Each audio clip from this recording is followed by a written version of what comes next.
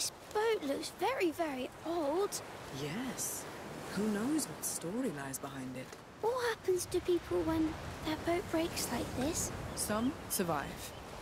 Some are taken by the sea and sleep forever, cradled by the waves. Nice way to put it. Then they become crab food. Ew! Thank you, Sophia. Anytime.